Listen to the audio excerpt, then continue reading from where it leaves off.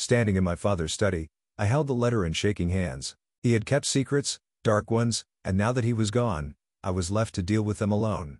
That letter, crumpled from years of hiding, held the truth about everything I'd been lied to about, the family I never knew, the sister I never met, and the one person I thought I could trust most. But as I read, I realized the man I thought was my father had kept something far more devastating than a mere secret. I wasn't sure if I would ever forgive him, but first, I had to find out who I really was.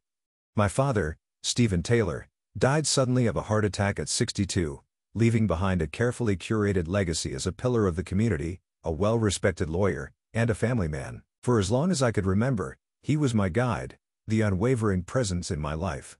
I always admired him, he seemed wise, fair, and kind, the kind of father any son would be proud of. But that image shattered into pieces in less than an hour. It happened as I was sorting through his things. In a drawer, under a stack of old receipts, there was an envelope with my name written in faded blue ink. Inside, I found a handwritten note, three pages long, in my father's unmistakable handwriting. Ethan, it began, if you're reading this, then I've passed on, and it's time you knew the truth. The next words made my head spin.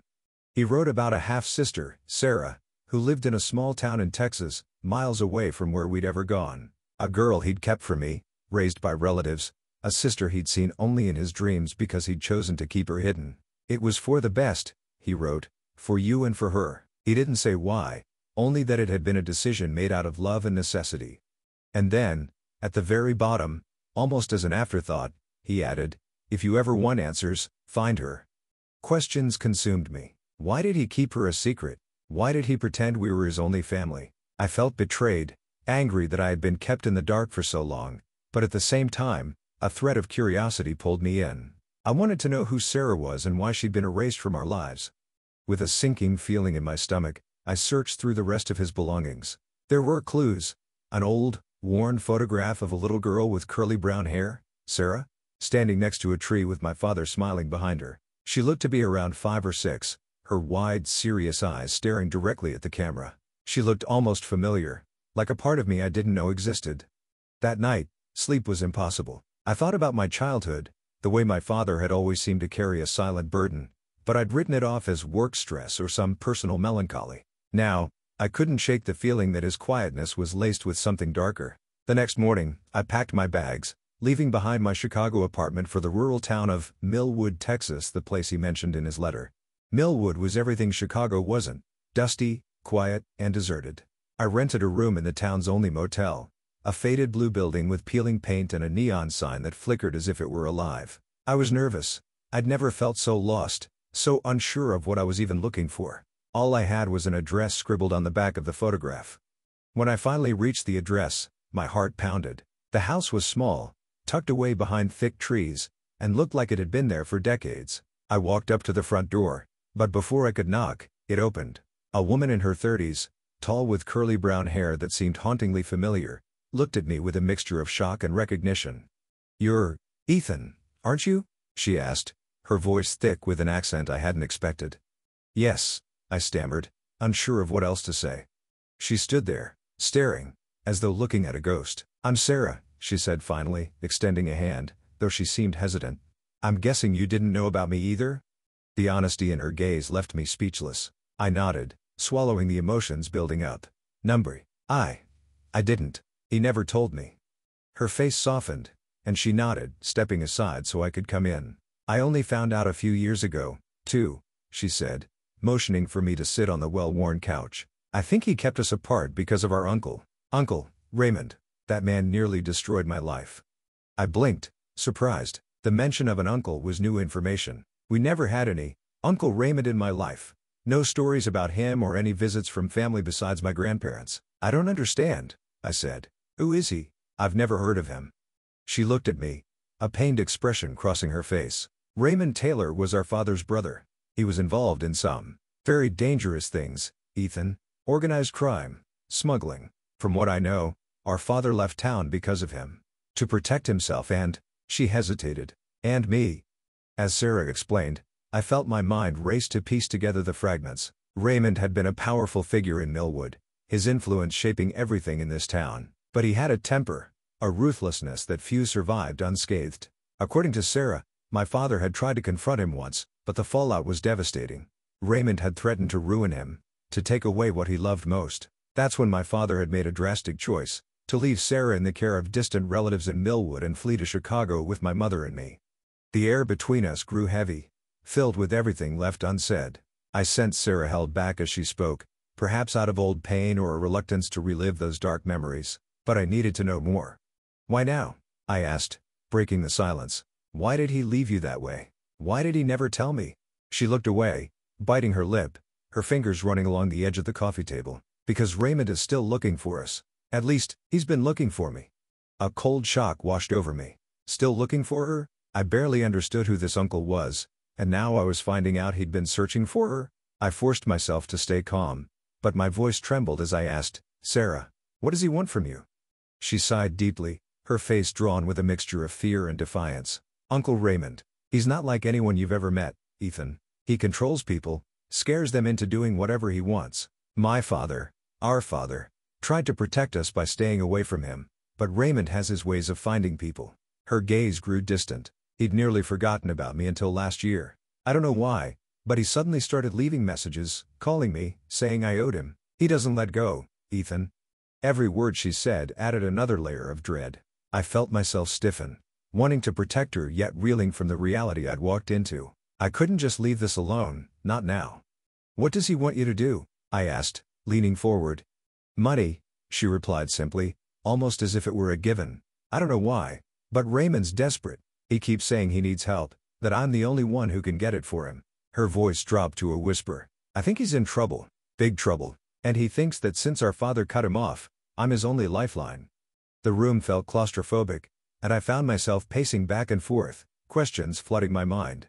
Why had our father let things get to this point? If he had just told us, we might have been prepared for this. For Raymond, I couldn't help but feel that my father's silence had been as damaging as Raymond's threats.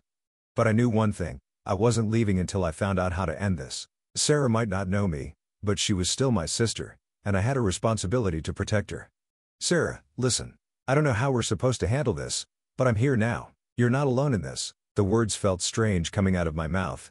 I'd never had a sibling, never taken on this kind of responsibility, but seeing the relief in her eyes, I knew it was the right thing to say. She nodded, swallowing hard. I didn't think you'd even come. I. I was ready to go into hiding if I had to. It's just that. He's been getting more desperate. Do you have any idea where he is? I asked, hoping we could get ahead of this somehow. She hesitated, then sighed. I've heard rumors, there's an old farmhouse just outside town where people say he still does business with a few guys who stayed loyal to him. I'd rather stay as far from there as possible, but, maybe that's where we should start. The thought of facing Raymond made my stomach turn, but there was no way out of this. If we were going to end this, it had to be on our terms. The next morning, Sarah and I drove to the edge of Millwood. I took in the desolate, empty landscape, my chest tightening as we neared the farmhouse. As we parked, I could feel Sarah's anxiety, her fingers trembled as she gripped the door handle. We sat in silence, staring at the rundown building from a distance. Are you sure he's in there? I whispered. She nodded, her gaze unwavering. I can feel it. I don't know if it's instinct or what, but I know he's in there, waiting. Maybe he thinks I'll come to him, that I'm scared enough to show up. The tension between us was thick as we both considered the next step. We couldn't just knock on the door and confront him. If he really was as dangerous as she said, this could go wrong in a hundred different ways. As we were debating, a tall, gaunt man stepped out of the farmhouse. He was older, his hair graying and face weathered, but he still held a kind of intimidating presence that sent chills down my spine. That's him, Sarah whispered, her voice almost a whimper. A rush of protectiveness surged in me. Stay here, I said firmly. Let me talk to him. Ethan, don't. You don't know what he's like. Her grip on my arm tightened. Please. But I was determined. This was my family now too. And if Raymond wanted a fight, I was ready to give it to him. Taking a deep breath, I stepped out of the car and walked toward him, feeling his eyes on me, assessing me as I approached. I could sense the same steely resolve in his gaze that my father had, but there was something darker in Raymond, something unhinged. Who are you? he asked, his voice low and dangerous. I'm Ethan, I said, my voice steady. Sarah's brother. He laughed bitterly, shaking his head. Stephen's other son. Of course. Took you long enough to show up. The venom in his tone caught me off guard. Look, I don't know what you want with her, but this ends now. You're not dragging us into whatever mess you've gotten yourself into. He smiled. A twisted, cynical smirk. Oh, really? You think you can waltz in here, act like some kind of hero, and make demands? He took a step closer, his eyes cold and unflinching. You're not like Stephen, boy. You don't know what kind of fire you're playing with. His words struck a nerve, and before I could stop myself, I took a step forward. Try me. If you so much as look at Sarah again, I'll make sure you regret it. Raymond's smile faded, replaced by a hard, calculating look. I don't think you understand, Ethan. Your father and I, we had history. He owes me. And now, so do you. I clenched my fists, struggling to control my anger. What are you talking about? What does my father have to do with this? Everything, he spat. Stephen was supposed to be my partner. We were going to run things together. But he turned his back on me, ran off, and left me to clean up his mess. And now, I'm calling in the favor. I shook my head, incredulous. He didn't owe you anything. He left because he knew you were dangerous. He was trying to protect us. Protect you? He laughed again, this time a hollow, humorless sound. Is that what he told you? Let me tell you something, kid. Your father wasn't the saint you think he was. He was just as deep in this as I was, only he was smart enough to walk away. I didn't know what to believe, but the cold, empty feeling in my gut told me there was truth in his words. My father had always been guarded, careful, but I never thought it was because he was hiding something like this. I squared my shoulders, meeting Raymond's gaze head on. I don't care what you think he owed you. Whatever debt he had with you died with him. Raymond's expression hardened, his eyes narrowing. Maybe, but there's still one way you can pay me back. He looked past me, his gaze settling on the car where Sarah sat, watching us with wide eyes. No, I said, stepping into his line of sight, you leave her out of this. But Raymond only smirked, a sinister glint in his eyes. I don't think you're in any position to make demands, Ethan. Either she helps me get what I need, or you'll find yourselves in more trouble than you can handle. With that, he turned and walked back into the farmhouse, leaving me standing there, fists clenched, heart racing. As I returned to the car, Sarah looked at me, her face pale. What did he say? He wants something from us, I said grimly, and he's not going to stop until he gets it. As we drove away, I felt a growing determination. This man, this stranger who was supposed to be my uncle, had dragged my family into his world of chaos, and I wasn't going to let him destroy what was left of it. The ride back to Sarah's was silent, thick with tension. My mind was racing, but one thought kept returning. Whatever Uncle Raymond wanted, he wasn't going to stop. If we were going to get through this, I'd have to understand exactly what he was after and why he felt he was owed anything. I looked over at Sarah. Her face was pale, her gaze fixed out the window as we drove past the rolling fields. I could tell she was somewhere between fear and fury, and for a moment, I could see just how much our father's secrets had cost her. Whatever he'd hidden from her, from both of us, had shaped her entire life. But if we were going to end this, we'd have to face it together. Sarah, I started, breaking the silence. You know him better than I do. Do you have any idea how we can make him leave us alone? She took a shaky breath, as though choosing her words carefully. Raymond won't just leave us alone, Ethan. He's the type to hold on to grudges, twist them until he feels justified. He's dangerous because he thinks he's entitled to something. And with our father gone, he thinks he can get it from us. But why now? I pressed, frustrated. Why, after all these years, does he suddenly want something from us? What does he need so badly that he'd hunt down his own family? Sarah glanced at me, her expression unreadable. He's broke, Ethan. I found out a few months ago. He gambled away everything he had left in some high-stakes game. And he has debts, serious ones. I nodded, piecing together the fragments of the story. Raymond wasn't just a criminal, he was desperate, and desperate people were capable of anything. So, he's after money? I asked. Money, yes, but there's something else. She hesitated, almost as if unsure whether to continue. Raymond's debts are tied to some powerful people, people who don't just let things go. He thinks he can leverage us to get what he wants. Either we pay him off, or he's threatening to take whatever he can get his hands on. Our father's name, his legacy, everything. I felt my stomach drop. He wanted control, power over us, over the memory of our father, the life he'd built. It wasn't just about money. Raymond wanted to drag us into his mess, to make us pay for his mistakes. Sarah, I said slowly, what if we could find something on him? Some way to make sure he doesn't have any hold on us? She shook her head a faint smirk crossing her face. I tried that once, Ethan. I found out all about his shady dealings, but he had connections in every corner. Cops, judges, you name it. He always had people protecting him. That's why Dad left in the first place. There was a beat of silence as we pulled up to her house. We sat in the driveway, both staring blankly at the dashboard, the weight of everything hanging over us. But then something clicked. My father's letter, it was almost as if he'd known that this day might come. Maybe he hadn't been able to face Raymond himself, but he'd left us something, hadn't he? Clues that would lead us to the truth, or maybe to a way out. I need to check something, I said, jumping out of the car and heading for my bag, where I'd left the letter. Back inside, Sarah watched as I laid out the pages on her kitchen table. This letter, I said, tracing the lines of my father's handwriting, it has to mean something more. Dad wasn't just telling us about you, Sarah. He was trying to give us a warning. She nodded slowly, her eyes scanning the words with newfound intensity. You think he left something hidden in the letter? I nodded, feeling a spark of hope. Maybe. Look, he was a lawyer. He knew how to be careful with his words. If there's something in here we're missing, we just have to find it. For hours, we pored over every line, every word, trying to decipher any hidden message. I could see my father's careful handwriting, his precise choice of words. And then, near the end of the letter, a line caught my eye. Look where we buried our roots, and you'll find what you need. Sarah, what does that mean? I asked, my heart pounding. Does that mean anything to you? She squinted at the page, then looked up at me, her eyes wide. Yes, I think I know where he means.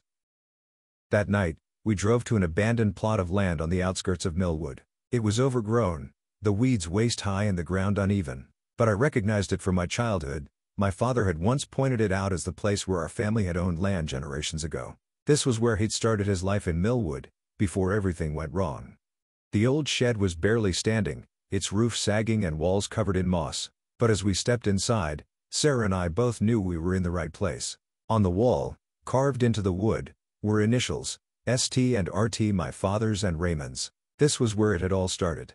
Help me look, I said, feeling a strange sense of urgency. If Dad left us something, it has to be here. We searched in silence, our flashlights scanning the shadows. And then, behind a loose floorboard, I found it, an old metal box, its edges rusted but intact. My hands trembled as I pried it open, revealing a bundle of yellowed papers and a worn leather journal. Flipping through the pages, I found handwritten notes, legal documents, and photos.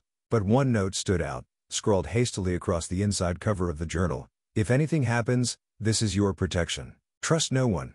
Sarah, I whispered, holding up the journal. This. This is everything. It's a record of all Raymond's dealings. Dad kept it all. Evidence of his crimes, the people he worked with, everything. Her face lit up with a glimmer of hope. We could use this. We could finally end this. But my heart sank as I realized the weight of what we held. This wasn't just a journal, it was a death sentence for anyone connected to Raymond. If he found out we had this, he wouldn't hesitate to come after us. In the days that followed, we kept the journal hidden, contacting a lawyer Dad had trusted in Millwood to see if we could use it to protect ourselves legally. The lawyer, Tom Brenner, assured us he'd help, but he warned us to be cautious. People in Raymond's circles are watching, he said. Be smart, and don't let anyone see that journal. But our movements must have been too obvious. A week later, I returned to my motel to find the door cracked open, and my heart stopped. Inside, the room was trashed. Clothes, bags, papers, everything scattered across the floor. And the worst part? There was no sign of Sarah. Frantically, I called her cell phone, but it went straight to voicemail. She had vanished, and deep down, I knew Raymond was behind it. Just when I thought all hope was lost, a text message flashed on my phone Meet me at the farmhouse, tonight, alone. I didn't recognize the number, but I knew it could only be him.